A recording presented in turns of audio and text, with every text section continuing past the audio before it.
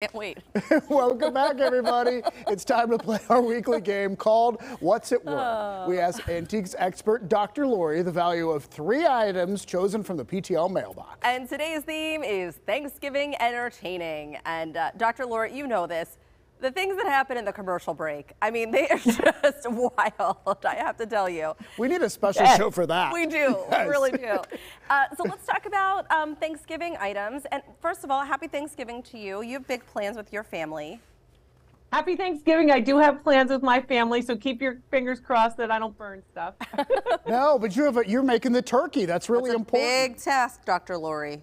That's all I can do. That's it. I put it in. I just have to like like time it. I have to do that timing part, but I can do that. You can do that. That's it. it. We have confidence in you. All right, up first, we have a turkey platter sent in by Larry. Ooh, this is cool. I mean, Larry's so appropriate. Here's the turkey platter. So, 19 inches, made in the United States, marked California, uh, one of the ceramic companies out of California, made of ceramic. It's very, very nice. It's about 19 inches long, so it's going to hold a lot of turkey. Do you have a specific platter that you use at, at Thanksgiving? We do. Uh, you know, we have not started cooking at our house yet, so Mm-hmm. I don't. We, ha- we don't have the things Right. You don't have that tradition going yet. yet. No. Yeah. Yeah. But And congratulations on your new house. How exciting! Thank you. Yeah, maybe next year. Maybe next yeah, year. yeah, new memories in a new house. All right, so Right. is, you, you mentioned this is made by a company in what, California? Is it Yes. like a limited edition thing? Is it an artist No. attached to it? No, All they right. made a lot of them. Made a lot of them. All right, and it's- Lot of 'em. did you say hand painted or no? Hand painted. Hand painted. All right. And it, it does it increase in value this time of year just because of the closeness of Thanksgiving. Exactly, exactly. If you decided that you were selling all of your Thanksgiving stuff, you would sell it two weeks before the holiday. You'll get top dollar in that time period. After, of course, you know, the 26th, 27th of November, all of a sudden we forget about Thanksgiving Right. and we're on to the next Right. thing. All right. Right. So shrewd. So, I, okay. Do you know All what you're gonna say? Yeah, I just don't know. I'm, I, I just don't know. Well, All right. you wrote something down. I did write something down. I said 150. I said 95. And Heather Abraham, who doesn't have this, would be absolutely on the money at 150. 150. You know, what? Wow. Normally I would say anyone who's right on the money should get double points, but since she got it, I won't say that. I'm taking that right back. All right, so next up is a China bowl set sent in by Rose. Tell us about this. So this particular piece is Limoges Haviland. And it Haviland Haviland is a very, very well and popular name from Limoges, France, making this lovely china reticulated bowl. It's hand painted. It dates to the mid 1900s, so about the 1950s, 60s. Hmm. It's really intricate with like the little openings. Like it's like lattice work, sort of. That's right. That's called reticulated. When it's open work like that, it's very beautiful. Lots of people collect them. I love the detail on there. I'm a big bird fan. Yeah. Birds Ah. speak to me. I don't know. I mean, And not there's a like not like there, too. actually, but you know, It's metaphorically. okay. It's okay if they do, Heather. Just It's- outside, like it's the all woman in. Home Alone. Remember the woman who fed all the pigeons? That's just me up there, just talking.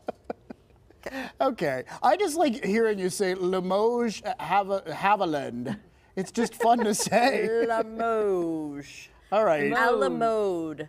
Okay, this is beautiful. It's a beautiful uh, dish. So Beautiful. Go ahead. The clay- The clay, the clay in Limoges, France, is among some of the most desirable and best quality clay for making ceramics in the world.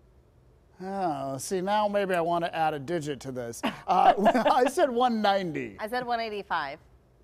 One hundred dollars is what it's worth. Oh. All right.